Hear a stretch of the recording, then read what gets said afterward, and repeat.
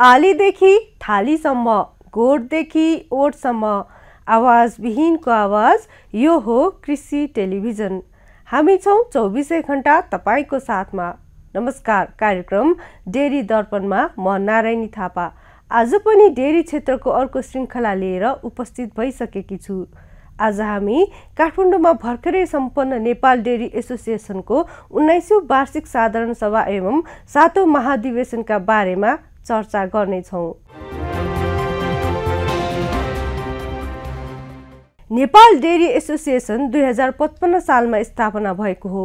यो संस्था ठुला साना मझौला र घरेलु दुग्ध उत्पादन गर्ने उद्योगीहरूको साझा संस्था हो। यस संस्थामा देशभरका दुई सयभन्दा बढी उद्योगहरू आबद्ध छन्। आज हामी यस संस्थाको उन्नाइसौँ वार्षिक साधारण सभा एवं सातौँ महाधिवेशनका बारेमा एउटा रिपोर्ट प्रस्तुत गर्दछौँ। नेपाल डेरी एसोसिएसनको उन्नाइसौँ वार्षिक साधारण सभा एवं सातौँ राष्ट्रिय महाधिवेशनले राधाकृष्ण सापकोटाको अध्यक्षतामा तीस सदस्य नयाँ कार्य समिति चयन गरेको छ। काठमाडौँमा दुई हजार चौहत्तर साल पौष अठाइस र उन्तिस गते सम्पन्न उन्नाइसौँ वार्षिक साधारण सभा एवं सातौँ राष्ट्रिय महाधिवेशनले सर्वसम्मत रूपमा सातजना प्रदेश संयोजकसहित तीस सदस्य नयाँ कार्य समितिको चयन गरेको हो। नेपाल उद्योग वाणिज्य महासङ्घका अध्यक्ष भवानी राणाज्यूको आतिथ्यमा दुई हजार चौहत्तर पौष अठाइस गते काठमाडौँको दरबार मार्ग स्थित होटेल अन्नपूर्णको सभा हलमा विद्यालयका बालबच्चाहरूलाई दुग्धपान गराई सभा उद्घाटन गरिएको थियो। त्यसै गरी पौष उनातिस गते महाराजगञ्ज स्थित शङ्खपारमा अवस्थित ग्लोबल पार्टी पालिसको सभा हलमा बन्द सत्र कार्यक्रम सम्पन्न भएको थियो। उक्त साधारण सभामा पूर्व मेचीदेखि पश्चिम महाकालीसम्मका डेरी उद्योगीहरूको उपस्थिति रहेको थियो। कार्यक्रममा उद्यमी र कृषक गरी करिब तिन सयभन्दा बढी व्यक्तिको उपस्थिति रहेको थियो।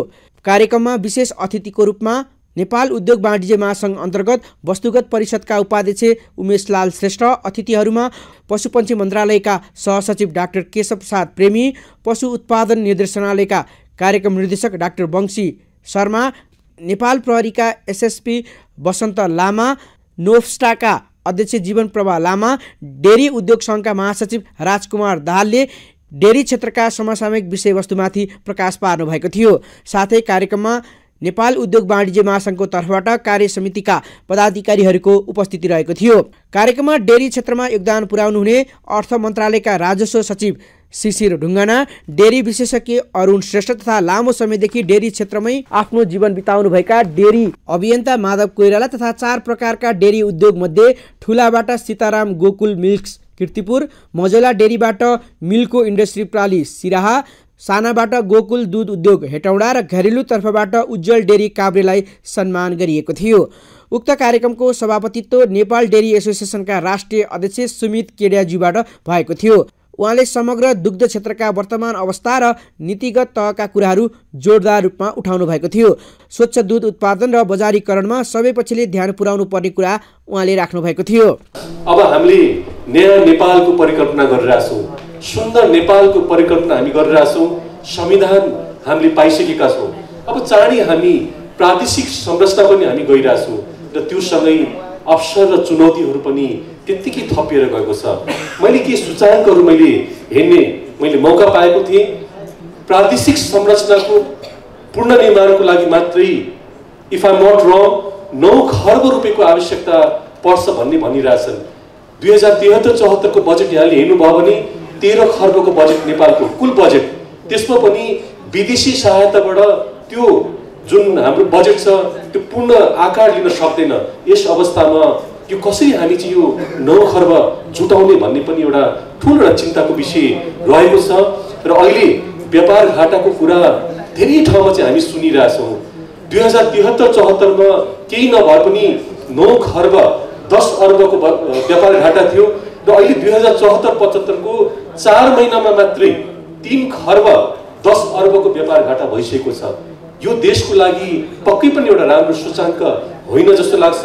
र फेरि हामी रेमिटेन्सको हामी कुरा गरिरहेको छौँ। रेमिटेन्स पनि घट्दो क्रममा छ। हामी पहिला पनि भन्थ्यौँ रेमिटेन्समा चाहिँ कुनै पनि राष्ट्र निर्भर भयो भने कुनै बेला पनि एउटा दुर्घटना हुनसक्छ किनभने भोलिको दिनमा रेमिटेन्स घट्दै गयो भने चाहिँ त्यहाँका सबैजना अब नेपाल फर्किनेछन् र जुन किसिमको हामीसँग चाहिँ एउटा फरेन करेन्सी छ त्यो पनि घट्दो क्रममा हुन्छ।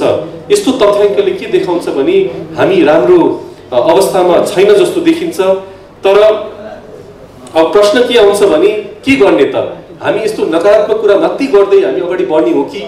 यो बेलामा फेरि मैले जेएफ क्यानेडी हजुरको चाहिँ उहाँ अमेरिकाको पूर्व राष्ट्रपति उहाँले के भन्नुहुन्थ्यो भने राष्ट्रले तपाईँलाई के गर्यो भन्नुभन्दा पनि तपाईँले राष्ट्रको लागि के गर्न सक्नुहुन्छ?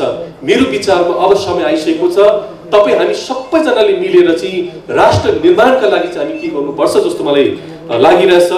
र आज जुन अघि मैले यहाँले सूचाङ्कहरू भने पक्कै पनि यहाँले हामी सुन्दाखेरि चाहिँ हामी नकारात्मक सूचाङ्क जस्तो हामीलाई लाग्यो होला। तर मलाई अब के लाग्छ भने यी सबै सूचाङ्कलाई सकारात्मक गर्नका निमित्त हामीले निजी क्षेत्रलाई चाहिँ हामी विश्वास गर्नै पर्छ उद्योग व्यवसायहरूको प्रवर्धन हामीले गर्नै पर्ने हुन्छ। एउटा उद्योग हामीले स्थापित गर्न सक्यो भने त्यसले रोजगारी सृजना गर्छ। एउटा उद्योग हामीले स्थापना गर्न सक्यो भने चाहिँ त्यो उद्योगले व्यापार घाटा व्यापार घाटालाई कम गर्ने काम गर्छ। एउटा उद्योग हामीले स्थापना गर्यो भने चाहिँ त्यसले राष्ट्रलाई चलाउने करको जुन एउटा निर्माण छ त्यसमा एउटा सहयोग पुऱ्याउँछ। त्यही भएर चाहिँ अब हामीले निजी क्षेत्रलाई चाहिँ विश्वास गर्नै पर्छ र उद्योग व्यवसायलाई चाहिँ हामीले प्रवर्धन गर्नै पर्छ भन्ने पनि मैले यहाँ निवेदन गर्न चाहन्छु। र आज हामी दुध क्षेत्रको सम्मेलनमा बसिरहेछौँ हेर्नुहोस् आज डेरी सेक्टरको एउटा कन्ट्रिब्युसन धानपछि आज डेरीको कुरा हामी गर्छौँ भने कुल ग्राहस उत्पादनमा नौ प्रतिशत योगदान यस सेक्टरले पुऱ्याएको छ। रोजगारीको हामी कुरा गर्छौँ भने चार लाख बिस हजार कृषक परिवार यसमा आबद्ध छन् भने बिस हजार भन्दा बढीले प्रत्यक्ष रोजगारी पाएको छ। तिन करोड रुपियाँ भन्दा बढी पैसा सहरबाट गाउँ प्रभाव भइरहेछ। मेरो विचारमा मैले अब अरू कुरा नसुनाउनै हामी के बुझ्न सक्छौँ भने यो सेक्टरको आर्थिक र सामाजिक रूपान्तरणको लागि चाहिँ यो सेक्टरको कन्ट्रिब्युसन हामी बुझ्न सक्छौँ।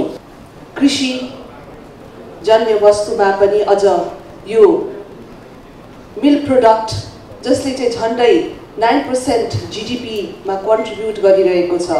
त्यो मात्र होइन ठुलो रूपमा चाहिँ हाम्रो व्यवसाय मित्रहरूले यसमा लगानी गरिरहेको छ भने रोजगारीतर्फ पनि झन्डै बिस हजारभन्दा बढ्ता नेपाली युवाहरूलाई यसले लगानी गरिरहेको छ। र अवश्य नै यो चाहिँ एउटा गाउँघरमा चाहे त्यो पहाड होस् चाहे हिमाल होस् चाहे तराईहरूको गाउँ होस् त्यहाँ पनि साना साना यस्ता किसिमका किसानहरूले चाहिँ व्यवसाय गरेर बसिरहेको हामीले पाएका छौँ भने अहिले अघि भर्खर उमेशजीले पनि भन्नुभयो मैले पनि सुन्नमा आएको छ र मैले चिन्ने चिनेका धेरै गाउँघरमा बस्ने जुन साथीहरू हुनुहुन्छ उहाँहरूको जुन बच्चाहरू विदेशमा गएको छ अहिले फर्केर आएर होइन म त दुग्ध व्यवसाय गर्छु। त्यो साँच्चीकै एउटा राम्रो छ अरे नेपालमा भनेर फर्केर आएर दुईवटा चारवटा दसवटा गाई भैँसी र बाख्रा पालन जस्ता कुराहरू गरेर आफ्नो व्यवसायलाई आफ्नै गाउँमा बसेर आफ्नै देशमा बसेर प्रवर्धन गर्नतर्फ अगाडि बढिरहेको छ भने यस्ता कुराहरूलाई राज्यले अवश्य नै गम्भीर रूपमा लिनुपर्छ जस्तो मलाई लागेको छ। अहिले मुलुक एउटा आर्थिक समृद्धतर्फ अगाडि बढेको छ। धेरै लामो समयपछि जुन निजी क्षेत्रले कुरिरहेको समय आएको छ आज तिन तहको निर्वाचन भइसकेको छ स्थानीय प्रदेशीय र प्रतिनिधि सभाको। र अहिले सबै राजनीतिक दलको मेनिफेस्टोमा अघि भर्खर माननीय सांसद श्रेष्ठज्यूले पनि भन्नुभयो उहाँहरूको पार्टीको मेनिफेस्टो सबैको मेनिफेस्टोमा लेखेको छ आर्थिक समृद्धि। सुशासन र श्रमको परिचालन भनेर। मलाई लाग्छ यो व्यवसायमा अवश्य नै यो कुराहरू एउटा इन्कर्पोरेट हुन सक्छ। आर्थिक समृद्धि भनेको हामी जहिले पनि आत्मनिर्भर बन्नको लागि उत्पादनमूलक उद्योगलाई खास गरी खाद्यान्न जनक उद्योगलाई चाहिँ हामी आत्मनिर्भर हौँ भनेर जुन सम्पूर्ण पार्टीहरूले यसलाई आफ्नो मेनिफेस्टोमा राखेको छ भने यो क्षेत्रलाई प्रवर्धन गर्नको लागि चाहिँ मलाई लाग्छ यस्तो उत्पादनमूलक उद्योग खास गरी दुग्ध उद्योगलाई चाहिँ एउटा छुट्टै विकासको लागि प्रवर्धनको लागि अब आउने सरकारले हेर्नुपर्छ र अवश्य नै यसमा श्रमको परिचालन हुन्छ। त्यत्रो युवा विदेशीमा गइरहेको छ भने ती ती युवाहरूलाई हामीले यसमा रोजगारी दिन सकिन्छ भने सुशासन अवश्य नै निजी क्षेत्रहरू यदि मन्त्रालयमा गएर चाहिँ उहाँहरूले आफ्ना कुराहरू राख्नुहुन्छ भने त्यहाँका जुन ब्युरोक्राट्सहरूले छिटोभन्दा छिटो फाइललाई अगाडि बढाइदिनुहुन्छ जस्तो हामीले विश्वास लिएको छौँ र अब आउने सरकारले पनि साँच्चीकै पहिला उहाँले भाषणमा भन्नुहुन्थ्यो आर्थिक विकास उत्पादनमूलक उद्योगको विकास श्रमको परिचालन भनेर तर कता कता राजनीतिक जुन एउटा परिवर्तन थियो विभिन्न चरणको निर्वाचन थियो त्यसमा अल्मलिएको भनेर हामीले पाएको थियौँ भने अब बन्ने सरकारलाई केही बाहना छैन।